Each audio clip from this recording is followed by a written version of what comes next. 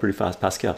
I agree man. I work in banking so i have been uh, um, banning of russian citizens from opening accounts and even uh, closing existing ones. That isn't new neutral and it makes me very sad how we as a nation betrayed uh, betrayed uh, betrayed yeah that's uh, switzerland right?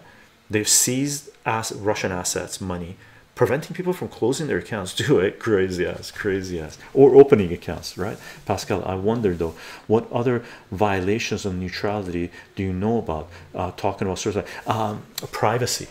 Privacy. In switzerland uh, the united uh, united states demanded that switzerland reveal all banking records for US citizens, but basically it was for everyone.